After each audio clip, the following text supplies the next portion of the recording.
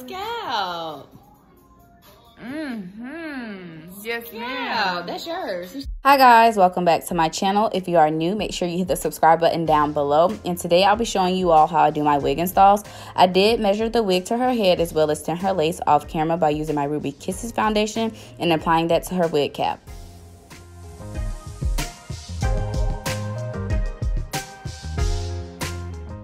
Okay guys, now I'm to go in using my Bold Hold Active. I'm going to be using three to four layers. I know I didn't show how many layers I use in this video, but I'm to use three to four.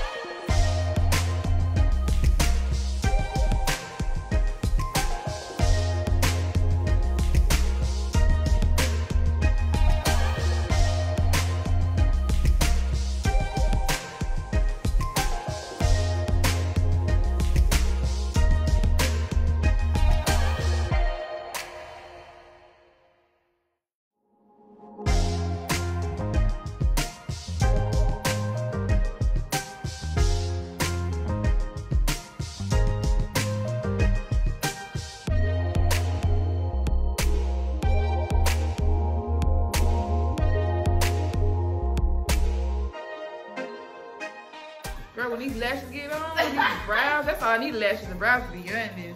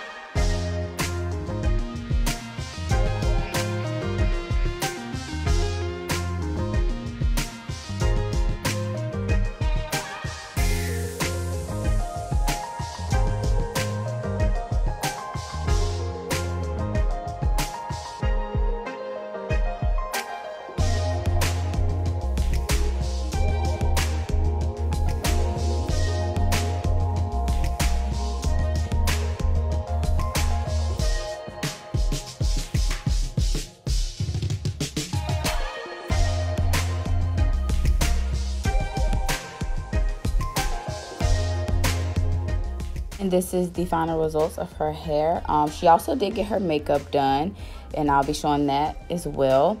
Um, if you all thought this video was helpful, please give it a thumbs up. Bye.